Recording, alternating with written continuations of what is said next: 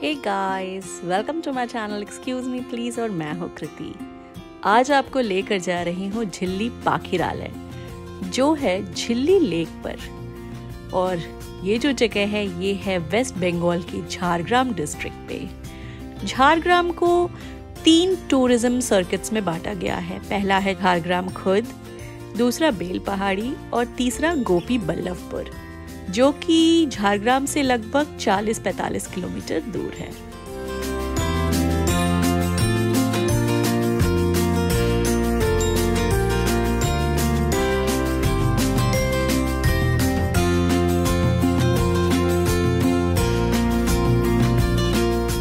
हाथीबाड़ी से लगभग 10 किलोमीटर दूर है ये। और जो जर्नी है वो क्या बताऊँ गाइस आपको सात किलोमीटर अंदर आना होता है जंगल में। जी हाँ जंगल के रास्ते से मैं यहाँ तक आई हूँ। टूरिज़्म को प्रमोट करने के लिए रास्ता बहुत ही अच्छा बना दिया गया। और आप मेरे दूसरे वीडियोस में वो रास्ते का सफ़र भी ज़रूर देख पाएँगे, जो मैंने शॉर्ट्स डाल रखा है। और मैं फाइनली पहुँची इस प्यारे से पाखिरालय में। और मैं तो आई हूँ मानसून के महीने में। कुछ पक्षी मुझे दिखे जो कि शायद कैमरे में कैप्चर नहीं कर पाई हूँ। पर अगर आप यहाँ ठंडी में आएँगे तो आपको कम से कम तेरह प्रजातियों के पक्षी देखने को ज़रूर मिलेंगे।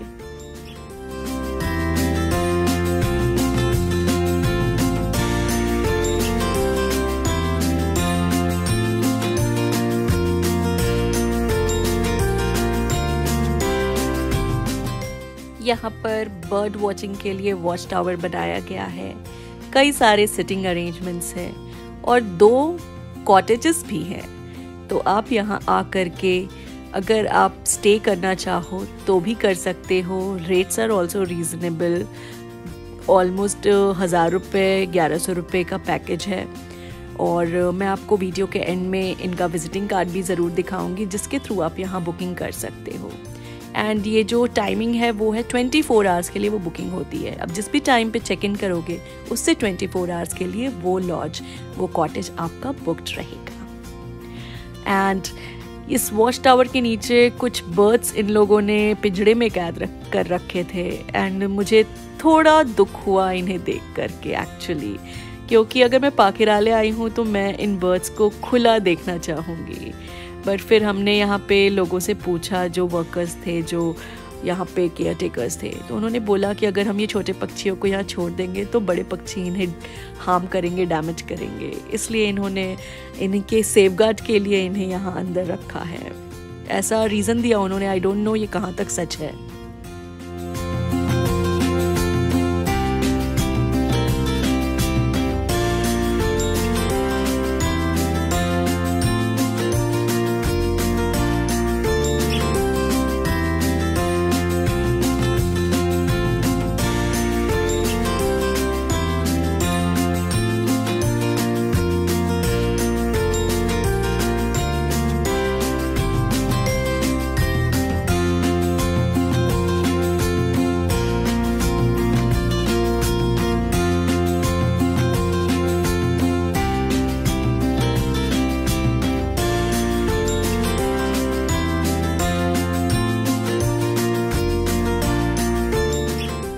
अगर आपको शांति चाहिए, सुकून चाहिए तो बस अपनी गाड़ी निकालिए और अपना सफ़र शुरू कर दीजिए झिल्ली पाखिरालय के लिए। मैंने हाथीबारी में स्टे किया जो government guest house, government bungalow है। आप चाहें तो इस पाखिरालय के अंदर, इस लेक के किनारे स्टे कर सकते हैं। बट मुझे थोड़ा डर लग रहा था, इसलिए मैंने हाथीबाड़ी ही ऑप्ट किया। यहाँ आप आए तो दो कॉटेजेस हैं, अगर चार लोग आएँगे तो आई वुड सजेस्ट कि अच्छा रहेगा, दो लोग से बेटर रहेगा, दोनों कॉटेजेस फुल रहेंगे।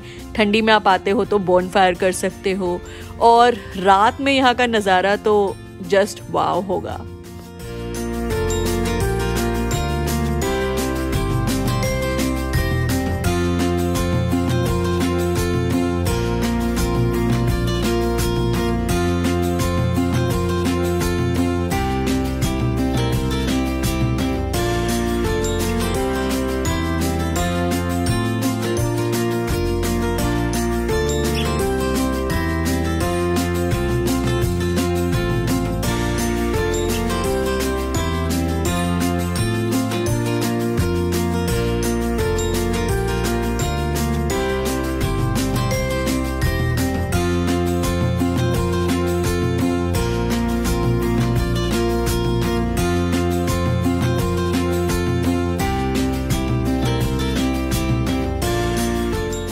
यहाँ आने के लिए एंट्री फ़ी लगती है ट्वेंटी रुपीज़ पर हेड जो मैंने पे किया। आप भी अगर यहाँ आएँगे स्टे करेंगे, फिर भी आपको ये ट्वेंटी रुपीज़ तो देना ही पड़ेगा।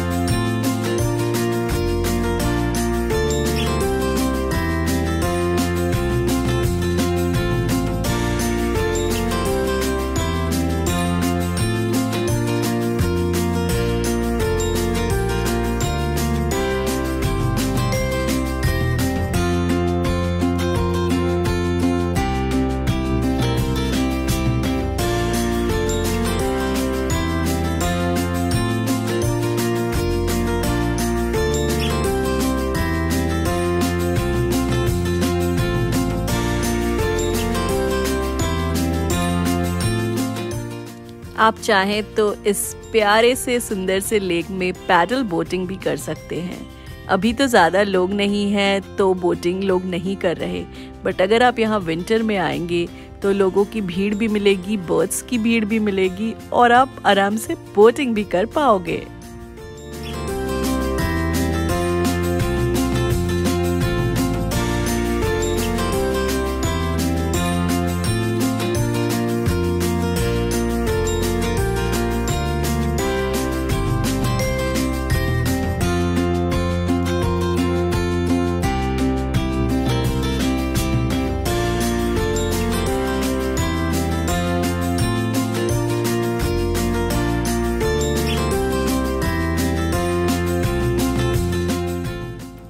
यहाँ पर फ़िलहाल बारिश हो रही है।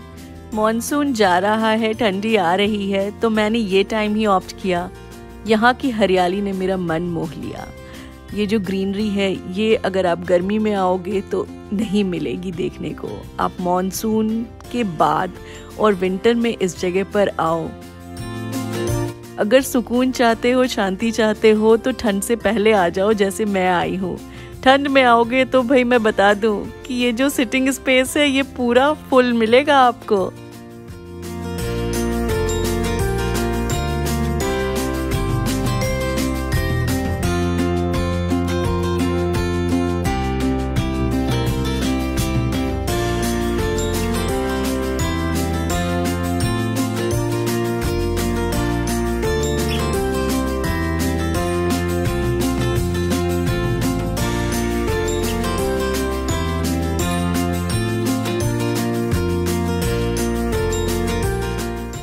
वॉट अ व्यू गाइज़ मैंने और मेरे हस्बैंड ने यहाँ पे कुछ टाइम स्पेंड किया और इसके बाद अपने नेक्स्ट डेस्टिनेशन की ओर बढ़ चले।